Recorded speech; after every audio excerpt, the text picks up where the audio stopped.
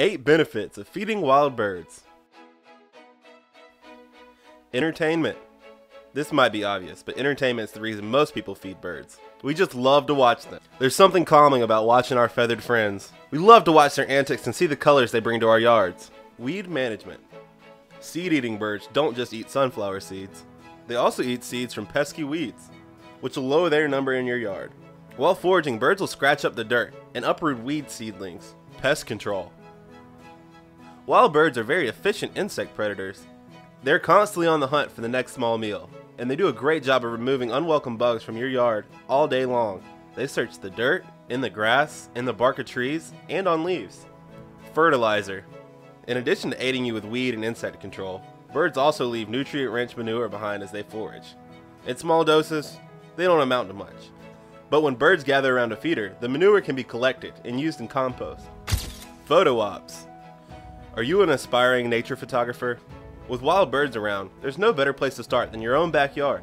Once they become accustomed to the feeder and come around regularly, they'll become less skittish, and over time will get used to seeing you and your camera. Practice often and you're sure to get some beautiful shots of your new feathered friends. Education.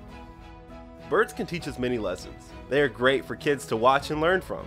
If you're willing to spend some of your time and watch, you'll learn how birds communicate with each other using body language. You can also change feeders and food types to bring different birds to your yard to watch. Add birdhouses for even more variety. It's a great way of interacting with nature right in your own backyard. Aid in their survival. Life can be hard for anyone living on this planet, and we can do our part to help the birds make it through theirs. Bird habitats are destroyed with every new housing development. We can do our part by putting up feeders and birdhouses. Migratory birds have a pressing need for extra food. Migration requires an enormous amount of energy. We can help them get where they're going by offering nutrient dense food, like suet for fat and dried mealworms for protein. This also applies to birds who stick around through the winter. They need extra calories to stay warm and survive the cold. Ornithophily. Ornithophily is the scientific name for bird pollination. Did you know that birds help pollinate many flowering plants? Birds that do this are usually nectar feeders. For North Americans, this is most notably the hummingbird family. To attract these birds, you can set out nectar feeders, and those with a green thumb can plant hummingbird friendly plants. That was 8 benefits of feeding wild birds.